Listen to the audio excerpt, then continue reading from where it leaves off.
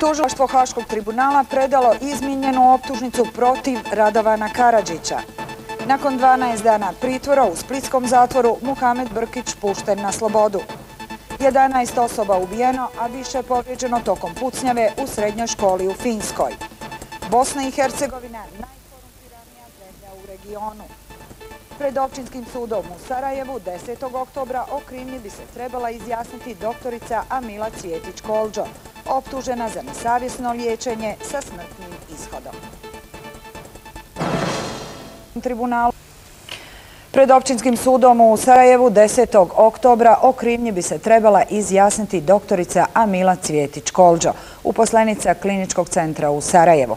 Optužnicom koju je nakon više mjesečne istrage podiglo kantonalno tužlaštvo u Sarajevu, tereti se za kazneno dijelo nesavjesno liječenje, čija je posljedica smrt pacijentice uzrokovane liječničkom greškom i nesavjesnim liječenjem.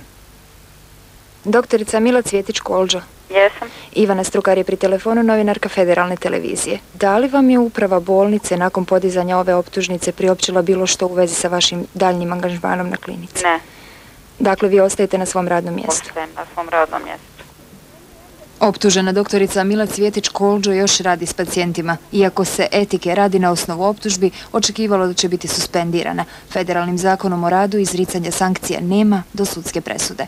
Zakon to nije regulisao. E, nego je on zakoni i kolektivni ugovori su jednostavno dali pravo svakom od poslodavaca, posebno kada se radi o specifičnim poslodavcima kao što su zdravstvo, ministarstvo unutrašnjih poslova, da oni mogu putem svojih internih pravilnika da regulišu određene situacije otkazivanja ugovora o radu ili suspenzije.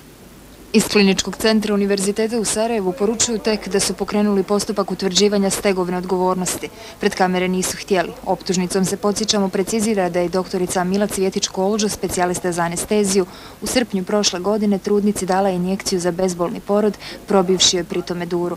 Pacijentica je otpuštena s klinike, a doktorica je bez konsultacija s kolegama i pretpostavljenima liječila pacijenticu u njenome domu, iako je u ovom slučaju bio neophodan klinički tretman. Pacijentica je nedugo zatim prepostavljena preminula.